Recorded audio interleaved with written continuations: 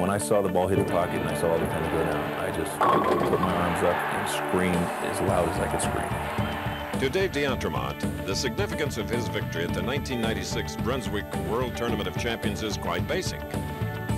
What it means to me is, you know, the, the 60,000, the boat, uh, you know, the, the incentive money, all those things in time could go away. Uh, that title and the trophy, that's going to be there for the rest of my life.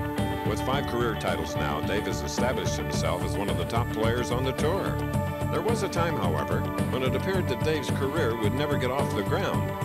In 1989, seven years after joining the PBA, Dave made his first television finals. He was the top seed in a show that was part of a very bizarre sequence of events. Very bizarre. We have a power outage here in Pinole Valley, California. The lights went out and, uh, you know, I finished second there and, and went home, but I, I had lost 30 pounds in a matter of a month.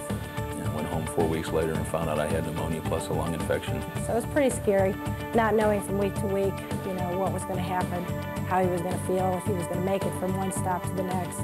For the first time, I thought about my own mortality. And it was quite a blow for me. With Sylvia's help, Dave was able to regain his strength and energy for the game. His earnings rose steadily. He made over $100,000 and won his first career tournament in 1992. In 1995, he would win back-to-back -back titles and finish as a runner-up for Player of the Year.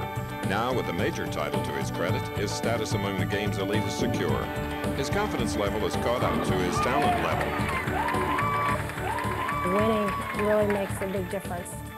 It makes you feel good about yourself.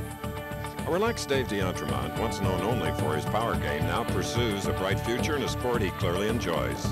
As far as, as the game, uh, I still love it, and as long as I can make a decent living at it, I'm going to keep doing it.